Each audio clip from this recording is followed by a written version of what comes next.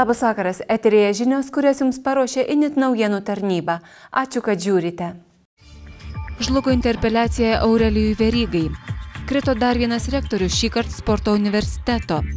Briuselis žada atlyginti žemdirbėms liučių nuostolius. Kaip atrodys Kauno vienybės aikštė po rekonstrukcijos? Kodėl ūkininkai savo produktus atvežė tiesiai į Seimą? Kauno valdžia perka iš Sabonių sporto centrą Oranžinis.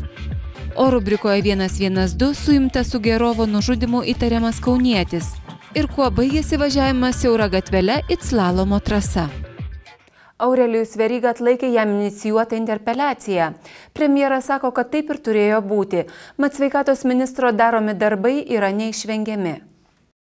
Seimas apsvarstė interpeliaciją ministrui ir pritarė jo atsakymui į opozicijos užduotus klausimus. Aurelijų Verygą palaikė 68 Seimo nariai, prieš buvo 33 ir 4 parlamentarai susilaikė. Valstiečių deleguotas sveikatos apsaugos ministras po balsavimo dėkojo savo partijos frakcijai už palaikymą. Kalbėdamas tribūnoje jis sakė, kad žemus savo reitingus laikantis normalių dalykų ir dėl to nematantis prasmės trauktis iš posto. Manau, kad neigiami visuomenės nuomonės tyrimų rezultatai nėra pagrindas atsistantydinti tie, kurie inicijuoja ir įgyvendina pokyčius tose sritise, kuriuo jų senai reikėjo, visada sulauks nepalankių vertinimų. Sveikatos apsaugos ministrai dėja, bet ir kitose šalise nėra labai palankiai vertinami, nes tai yra labai jautris rytis. Mano atsistatydinimas prieštarautų mano ir visos koalicijos ryšto eiti toliau permainų keliu ir siekti teigiamų pokyčių sveikatos sistemoje ir įgyvendinti vyriausybės programą, tai rodytų bėgimą nuo problemų ir atsakomybės vengimą. Žlugus interpeliacijai, premjeras pasidžiaugė, kad dar trejata metų galės padirbėti su veryga. Sauliaus Kvernelio teigimu, sveikatos priežiūros srityje šio ministro daromi darbai neišvengiami, o iki šiol ne vienas ministras nesiryžo jų imtis. Aš manau, kad daro gerai. Kuo daugiau daroma nepopuliarių sprendimų, tuo didesnė tikimybė sulaukti nepalankių vertinimų. Vienas interpeliacijos iniciatorių konservatorių lyderis Gabrielius Landsbergis po balsavimo taip pat sakė kitokio rezultato ir nesitikėjęs. Klausimas, ar tuomet interpeliacijos procedūra nebuvo tuščias laiko švaistimas, konservatorių vadovas pareiškė, kad tik taip visuomenė galėjo išgirsti atsakymus į visiems rūpimus klausimus. Nepatenkinti Kauno valdžios užmojais centralizuotai pirkti maisto produktus visiems miesto darželiams, tėvai platina peticiją. Ją jau pasirašė keli tūkstančiai kauniečių. Lietuvos tėvų forumo atstovai sako, kad šiam žingsniui bandoma trukdyti ir tėvams iš savivaldybės platinama klaidinga informacija. Peticija dėl Kauno savivaldybės vykdomo centralizuoto maisto produktų pirkimo darželiuose sulaukė didelio tėvų palaikymo. Pradėjus rinkti užpildytus blankus, paaiškėjo, kad juos jau pasirašė gerokai daugiau žmonių nei tikėtasi. Surinkta per 3000 parašų ir šis skaičius nuolat auga. Neradę peticijos lapų darželiuose tėvai patys juos spausdina ir platina. Kiekvienoje įstaigoje peticiją pasirašo vidutiniškai 100 žmonių. Peticiją žlugdyti bandė Kauno savivaldybė paveikdama žmonės, išsiuntinėjo elektroninius laiškus tėvams, naudodamasi tais duomenimis, kuriuos šie buvo pateikę darželiams, kad gautų sąskaitas ar kitus būtinus pranešimus. Kiekvienas tėvas gavo iš savivaldybės elektroninėme laiške informaciją su melaginga informacija. Iš tikrųjų labai keista, kada savivaldybė uh, tampa spameriais, kitaip turbūt to nepavadinsi, nes savivaldybė neturi iš mūsų gavus teisės mums rašyti laiškų. Mes esame sudarę sutartis su kiekvienas su, su darželiu ir galime gauti informaciją tik tai iš darželių, bet ne iš savivaldybės. Labai keista, kad uh, savivaldybė griebėsi tokių desperacinių veiksmų. Savivaldybė jau vykstantį viešųjų pirkimų konkursą dėl centralizuoto maisto produktų įsigymo bando pateisinti ir visą kaltę verčia darbo grupiai, ne va šitam pritarusi. Nors joje dalyvavę žmonės kaip tik pasisakė prieš ir siūlė pirmą suderinti valgerašius, atnaujinti virtuvėlės ir tik tada galvoti, kaip geriau nupirkti produktus. Savivaldybė nepasitikim ir tiesiog tikimės, kad šiandien dienai tikrai tas 20 dieną neįvyks konkursas. Rinkome parašus dėl tos pačios peticijos, dėl to pačio maitinimo, nes šiandien dienai situacija iš tikrųjų yra labai sudėtinga. Ir tiesiog tikimės, kad visų tėvelių bendras noras, bendras noras bendradarbiauti sudarys geresnės sąlygas mūsų vaikams turėti sveikesnį maitinimą. Visi surinkti parašai bus įteikti Kauno savivaldybei. Jos atstovė administracijos direktoriaus pavaduotoja Niolė Putrienė vykusiame susitikime su darželio atstovais teigė, kad jeigu peticiją pasirašys daug žmonių, konkursas gali būti sustabdytas. Tai dabar yra tiesiog išbandymas valdybei, ar jinai vis tik tai e, demokratiniai valstybė gyvena ir vadovausi demokratiniais principais, ar vis tik tai toliau važiuos buldozeriu ir mes suprasime, kokia yra vis tik tai šita Kauno savivaldybė. Jei nebus atsižvelgta į peticijoje išdėstytus reikalavimus ir viešųjų pirkimų konkursas bus prastumtas buldozeriu, žadama renkti piketą. Švenčionių rajone prasideda karinės pratybos Winterwolf. Lietuvos ir NATO bataliono kovinės grupės kariai kartu treniruosi šaudyti iš įvairaus tipo ginklų. NATO priešakinių pajėgų bataliono kovinė grupė kartu su Lietuvos kariuomenė intensyviai treniruojasi generolas Silvestro Žukausko poligone Pabradėje. Šiomis dienomis kariai atlieka kovinius šaudimus iš įvairaus tipo ginklų. Tai vienas iš karinio rengimo ciklų. Rotacijos pagrindų formuojama daugia nacionalinė Vokietijos vadovavimą NATO priešakinių pajėgų bataliono kovinė grupė 2018 pradžioje dar sustiprins Prancūzijos kontingentas. Taikos metu šis NATO batalionas dalyvauja pratybose su Lietuvos kariais, o krizės ar konflikto atveju gintų Lietuvą kartu su Lietuvos nacionalinėmis ir papildomai atvykstančiomis sąjungininkų pajėgomis. Džiugi žinia mūsų šalies žemdirbiams. Prezidentė Dalia Grybauskaitė sako sulaukusi žinios iš Europos komisijos, kad Lietuva gaus paramą žemdirbių nuostoliams dėl liučių padengti. Anot prezidentūros Europos komisijos pirmininkas Žanas Klodas Junkeris informavo, kad įvertinos Lietuvos žemdirbių patirtus nuostolius ir išnagrinėjus galimybės juos atlyginti, nuspręsta Lietuvos ūkininkams suteikti išskirtinę netidėliotiną paramą. Teigiama, kad sprendimai dėl konkrečios kompensavimo sumos bus priimti artimiausių metų. Dėl lyčių padarytų nuostolių daugiau nei dešimtyje Lietuvos savivaldybių šiemet buvo paskelbta ekstremali situacija. Žemės ūkio ministerijos duomenimis žemdirbių nuostoliai siekia apie 40 milijonų eurų. Tačiau Žemės ūkio rūmai skaičiuoja, kad jie gali siekti daugiau nei 200 milijonų eurų. Vyriausybei paskelbus ekstremalią situaciją visoje šalyje, spalį jį kreipėsi į Europos komisiją, prašydama padengti nuostolius. Rūpiučio rugsėjo mėnesiais Lietuvoje iškrito maždaug dvigubai daugiau kritulių nei metinė jų norma. Kai kuriuose savivaldybėse nenuimta daugiau kaip pusė šių metų derliaus. Įsibėgėjus statyboms pagaliau pristatyta, kaip atrodys vienybės aikštė po rekonstrukcijos. Žadama, kad ji bus moderni, tačiau nepraras ryšio su praeitimi. Norima sukurti tokią aikštę, kurioje žmonės burtusi ne vien renginių metu. Jau kurį laiką vyksta statybos darbai miesto centre, miestiečiai vis bando žvilgtelėti pro tvorą, kas ten daroma. Ta darbus vykdanti bendrovė pagaliau viešai pristatė aikštės viziją. Aikštę rekonstruojančios bendrovės vadovai teigia, kad šioje erdvėje dėrės istorija ir ateitis. Bus sukurta moderni, tačiau su praeitimi susieta vieta. Tai turėtų būti integracija tarp to istoriškumo, to, tos sakraliosios dalies ir, ir turėtume integruoti būtinai modernumą, tas, kas yra e, ateitis, praeitis ir ateitis. Ir, ir tai iš tikrųjų ir įdomi, ir sudėtinga užduotis, e, bet aš manau, mes tikrai judame labai teisinga kryptim. Ir, e, ir būsim būtent pirmieji tie, kurie parodysim, kad, kad Kaune atsiras aikštė europietiška. Tikimasi, kad po rekonstrukcijos šią erdvę pamėgs kauniečiai ir čia rinksis ne vien įvairių švenčių metu. Mūsų tikslas yra aikštę padaryti tokią, kuri būtų patraukli visoms visuomenės grupėms ir galima sakyti, kad vis, visų, bet kuriuo metu, tiek vakare, tiek, tiek, tiek savaitgalį, tiek dienos metu. Aikštė ir toliau išsaugos reprezentacinę funkciją, joje išliks ir visi istoriniai akcentai. Vienybės aikštė, aišku, yra na, neįlinė erdvė, tarp tokių e, zonų kaip Putvinskio gatvė, Laisvės alėja, Karo muziejus, e, studentų skveras. Naujoje aikštėje bus įrengtas interaktyvus fontanas, kuris keis spalvas ir formą. Taip pat žalios oazijas erdvės ilsėtis ant žolės. Planuojama, kad projektas bus baigtas per metus, o atsijais maždaug 10 milijonų eurų. Savivaldybė už savo lėšas įrengs tik aikštės grindinį.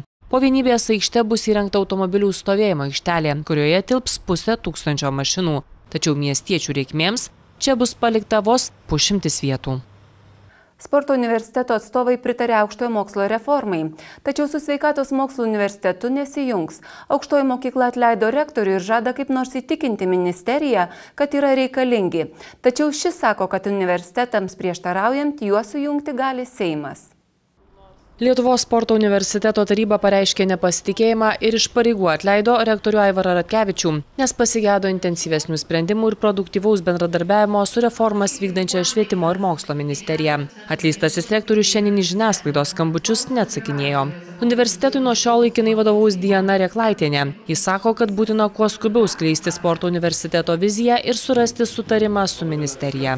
Matome save kaip lyderį sporto ir sveikatingumo srityje ir norėtumėm apie save telkti visos Lietuvos pajėgas tiek sporto mokslo ir sveikatinimo, ir studijų, ir, ir akademinė bendruomenė.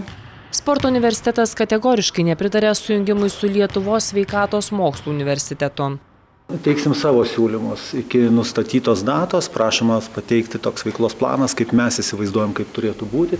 Esą sujungimas reikštų tik vieną sporto programų išnykimą. Mat tokių pavyzdžių apstu kitose šalyse. Universiteto senato pirmininkas pristatė Vengrijos pavyzdį. Prijungus prie medicinos fakulteto pradėjo nykti visos sporto programos, sumažėjo jų apie 80 procentų programos vien dėl to, ne, dėl kultūros skirtumo, nes visa medicina visam pasaulyje yra dar dominuojanti kultūra, gydymo kultūra, o sporto kultūra yra sveikatinimo kultūra. Pradėjo programos, kaip minėjau, ir pradėjo pinigai skirti sportui ir sveikatinimui, ir pradėjo būti skiriami vienareikšmiškai gydymui. Tačiau švietimo ir mokslo ministrė Jurgita Petrauskinė sako, kad jei universitetai prieštaraus tokiam sujungimui, įsikišti privalės Seimas. Jam kaip steigėjai nusprendus jungti, aukštosios mokyklos mažai ką galės pakeisti. Seimas kaip steigėjas ir priims sprendimus. E, turime užtikrinti, kad aukštosios mokyklos būtų stiprios. Suprantame, kad yra viešasis interesas, yra institucinis interesas, yra atskirų žmonių individualus interesas. Jie gali skirtis, bet siekiant stiprinti Lietuvos aukštąjį mokslą, mokslo tarptautinį konkurencingumą, pokyčiai yra būtini. Nepatvirtintais duomenimis Lietuvos sporto universitetui palankiau jungti su Vytauto didžiojo universitetu. Matai keltų mažesnę grėsmę sporto programų išnykimui. Susirūpinę, kad kuo daugiau ekologiškų jų produktų patektų į viešojo maitinimo įstaigas, ūkininkai nusprendė rinktis tiesiausią kelią į tautos išrinktųjų širdis. Su visais savo produktais atvyko tiesiai į Seimą. Parlamentarai buvo atviri. Jei maistas geras, kaina nesvarbi. Lipdukai bio ir eko ant kai kurių maisto produktų mums seniai nebe naujiena.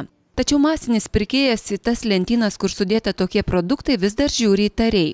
Pirmiausia, neaišku, kuo ta esą ekologiška morka geresnė už visas kitas. Kita vertus, nepaslaptis, ekologiški produktai kainuoja gerokai brangiau. Kai kurie produktai taip, turbūt yra kainų skirtumas iki 40 procentų. Yra kur, kur tas kainų skirtumas yra mažesnis. Tai pagrindinė priežastis, dėl ko jie brangiau kainuoja, kad juos užauginti yra žymiai sunkiau. Ir sakykime, jeigu, jeigu normaliai chemizuotam ūkija iš e, hektaro kviečių yra priku, prikuliama ir 8 ir 10 tonų, tai ekologiniam ūkija turbūt daugiau kaip 2-3 tonas užauginti yra be galo sunku. Ekologinius vietinius produktus sertifikuoja prie Žemės ūkio ministerijos įsteigta speciali įmonė Eko Agro. Valdininkai tikina viską kontroliuojantis, net ir dirbo sudėti, tad apgaulė negalima. Čia mes nieko neatsiliekam nuo Europos o kai kurios mūsų ūkininkės pačios yra tikrai sveikos sielos sveikame kūne pavyzdžiai. Aš atsimenu dar kaip vaikas, man visą laiką ir močiutė, ir tėtis niekada neleisdavo valgyti kažkokių tokių su priedais. Mėsa irgi tik užauginta ir va taip va, nuo vaikystės, kai va, tai, va, man jau įskiepio, tai žinokit, va, tas ir, ir išliko iki pat dabar. Ir nu, renkėsi, kad sviestas tik va, naminis. Mėsa tik tai žinau, kad pas mano tėvus užauginta ir va, viską, žodžiu, be jokių maisto priedų. Ir va, tas nuo vaikystės ir eina, va, kuo toliau, to toliau. Iš pradžių tikimasi vietiniais ekologiškais produktais aprūpinti mokyklas ir vaikų darželius, o paskui pamaitinti jais ir kariuomenę. Tegu ir brangiau, užtat sveikiau. Begalė studijų yra Europoje padarytų, kada šeimos biudžete naudojami brangus tikslus geri produktai, šeima per metus išleidžia gerokai mažiau negu perkant akcijinį ir pigų maistą.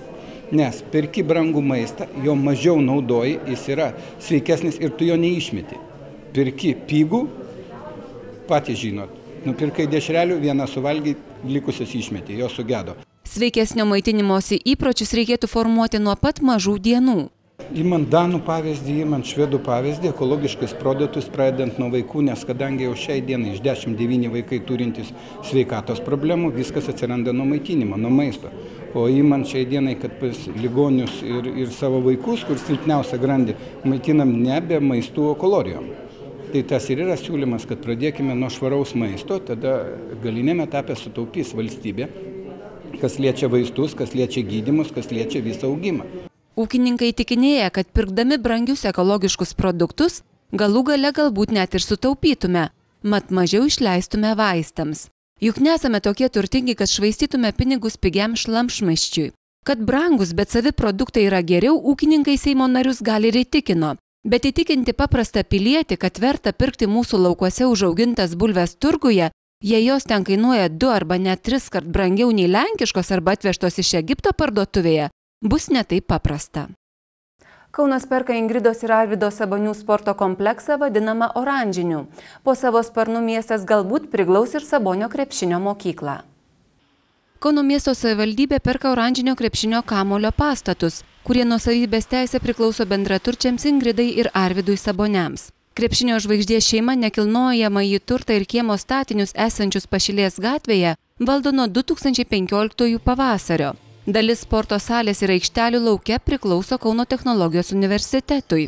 Savivaldybė planuoja pirkti tik saboniams priklausančią pastatų dalį. KTU dėl savo valdomo nekilnojamojo turto pardavimo žada organizuoti viešąjį aukcioną.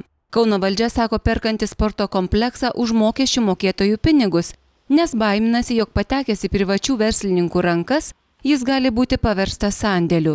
Įsigytą pastatų kompleksą savivaldybė sako naudosianti krepšinio mokyklos aiščiai veiklai, iki mokykliniam ūkdymui, vaikų ir suaugusių neformaliajam švietimui, gyventojų poilsiui organizuoti. Miestą žada priglausti bei išsaugoti ir Arvido Sabonio krepšinio mokyklą. Žinias tęsia rubrika 112.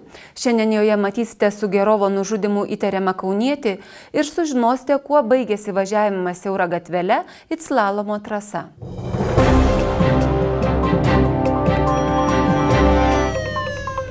Teismas trims mėnesiams leido suimti 62 aukštųjų šančių gyventoją. Kaip įtariama, jis pirmadienio vakarą Medvėgalio gatvėje nudūrė 39 kaunietį. Savo kaltį įtariamasis neigė, jis buvo sulaikytas praėjus parai po žmogžudystės. Vyras buvo savo namuose ir gerokai išgėręs. Kodėl padarė tai? Ką? Nužudė. Aha. Kraupi žmogžudystė įvykdyta netoli prekybos centro. Gyvenamosios vietos po skirybų neturėjęs kaunietis buvo nudurtas vienu peilio dūriu. Žudikas pataikė tiesiai į širdį. Galimai abu vyrai tą vakarą girtavo, nors apklaustas įtariamasis tikino nužudytojo net nepažinojęs.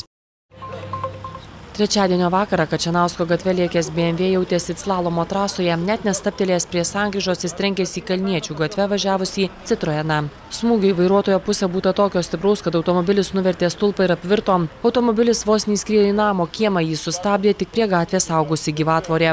Po smūgio 41 Citroeno vairuotojas išvežtas į Kauno klinikas. Jo tėvai pasako, kad sūnus susitrenkė galvą. O ką policija sako? Ką gali sakyti? Nieko kaltas, anas. anas. Tas vairuotojas, BMW. Taip. Bet jis nelietuvis, nežinot? Rumūnas. Kokiu greičiu siaura gatvelė skriejo 26 Rumunijos piliečio vairuojamas BMW greičiausiai atsakys ekspertai, tačiau nebejojama, kad jo būta tikrai didelio. Po smūgio ant kelio pažiūro abiejų automobilių detalės. Pasak liudininkų, šis sankryža labai pavojinga. Čia mažiausiai du kart per metus fiksuojamos avarijos, o namo gyventojai nuolat turi tvarkyti apgadinamą tvorą. Sostinės pareigūnai surengė paslą taborę sulaikė Romų tautybės moterį neteisėtai disponavusią narkotikais. Romė nesislapstė, pareigūnai pro langą pamatė, kaip jis sveria ir fasuoja miltelius ir dalina juos narkomanams. Nors moteriškė dar bandė naikinti narkotikus supildama juos į kibirą su vandeniu, vėliau prisipažino ir parodė slėptuvę kieme. Ten senuose batuose pareigūnai surado dar kelis paketėlius su kvaišalais. Romė gerai žinoma policijai, ji tik šiemet išėjo iš įkalinimo įstaigos ir jau spėjo įkliūti antrą kartą. Lapkričio pabaigoje jos pilnametė dukra taip pat įkliuvo su narkotikais.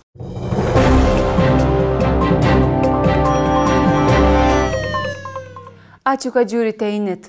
Tiek norėjome parodyti jums šį vakarą, netrukus orų prognozė. Sinoptikai spėja, kad keliuose gali būti slidu ir naktį, ir dieną, tad būkite atsargus ir sudė.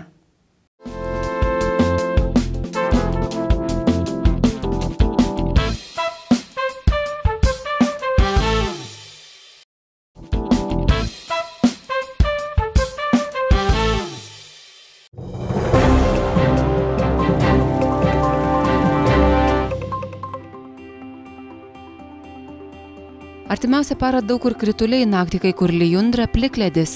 Žemiausia temperatūra nuo 1 laipsnio šalčio iki 3 šilumos. Plikledis kai kur išliks ir dieną, o temperatūra bus tarp 0-5 laipsnių šilumos.